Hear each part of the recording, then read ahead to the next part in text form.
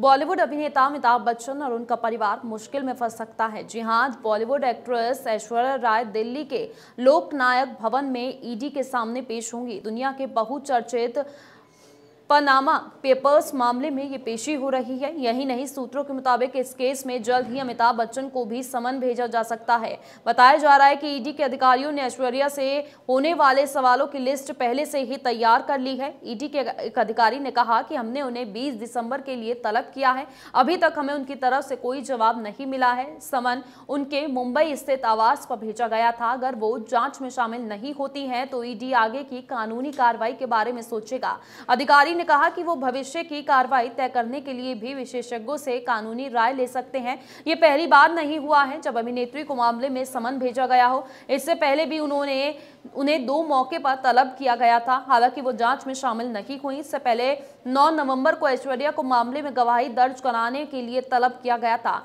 एक महीने पहले अभिषेक बच्चन भी ईडी कार्यालय पहुँचे थे। वो कुछ दस्तावेज़ भी ईडी अधिकारियों को सौंप चुके हैं। ऐसे में ईडी ने इस मामले में मनी लॉन्ड्रिंग का ये मामला दर्ज किया है।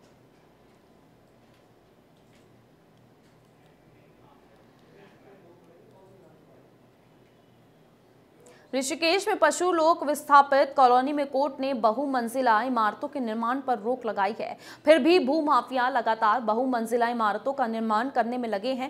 हौसले इतने बुलंद हैं कि एक दो नहीं, बल्कि दर्जनों बहुमंजिला इमारतों को निर्माण वर्तमान समय में चल रहा है।